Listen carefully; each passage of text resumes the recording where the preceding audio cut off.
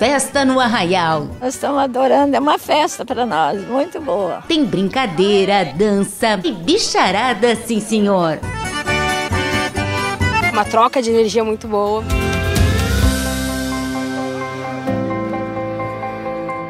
E o cavalo parece que entende. A gente chega aqui e o cavalo ele relaxa e ele, ele sabe para que, que ele veio.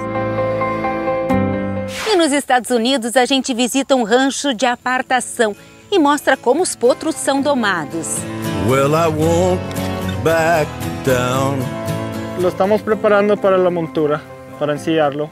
Roberto Jou conta todos os detalhes sobre a última conquista com o loirinho. Dessa vez teve algo diferente. De quebra tem os vídeos que você manda pra gente.